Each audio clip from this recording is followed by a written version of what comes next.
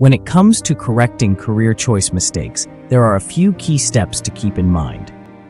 First and foremost, it's important to acknowledge that everyone makes mistakes, especially when it comes to choosing a career path. It's completely normal to realize that the job you thought you wanted isn't the right fit for you. The first step in correcting a career choice mistake is to reflect on what went wrong. Take some time to think about why you're unhappy in your current job. Is it the work itself, the company culture, or something else entirely? Understanding the root cause of your dissatisfaction can help you make a more informed decision about how to move forward. Once uh, you have identified the problem, it's, it's time to start exploring your options.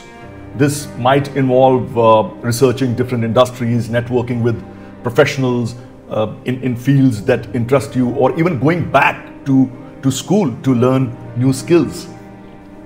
Don't be afraid to think outside the box and, and consider unconventional uh, career paths. Sometimes the perfect job for you is one you never would have considered before. After you've done your research and have a better idea of what you want to do next, it's time to take action. This might mean updating your resume, reaching out to potential employers, or enrolling in a training program.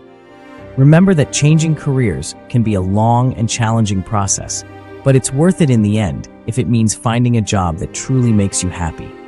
It's also important to seek support from friends, family, or a career counselor during this time.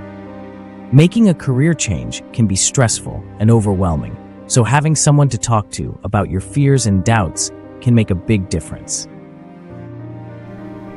Don't be afraid to take risks and try new things.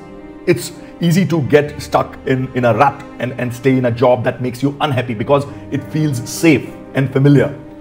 But sometimes the only way to find your true calling is to step outside of your uh, comfort zone and, and take uh, a chance on something absolutely new.